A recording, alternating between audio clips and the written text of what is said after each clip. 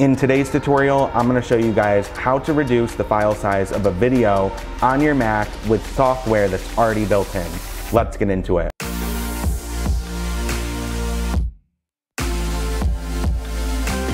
Before we do get into it, real quick, I wanna tell you guys about TubeBuddy. TubeBuddy is a YouTube SEO tool that has helped me grow this YouTube channel. It's free to use, and I definitely would recommend that you guys check it out. I'll leave a link to it in the description below. But let's jump into the video.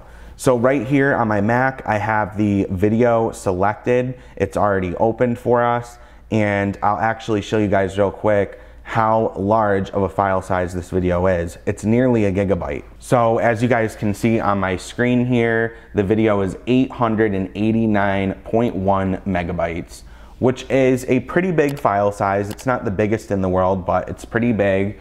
The footage from the video is actually 4K, and I put these clips together as like a reel for a real estate agent that was interested in buying them. So as you can see, very nice drone shots. But I'm gonna show you guys how to reduce that file size from 889.1 megabytes. So you wanna make sure that you're clicked in and opened up in the QuickTime player.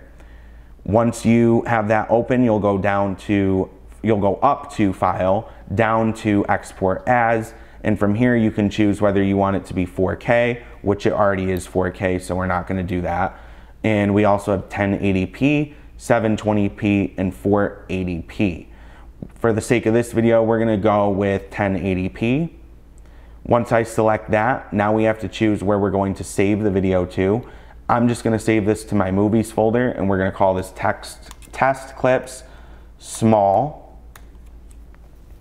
Hit save and just like that, it'll start to export the video and it'll export it to a smaller file size for us so that we can upload it to wherever we want. So once this is done, I'm gonna come back and I'll show you guys what the final result is.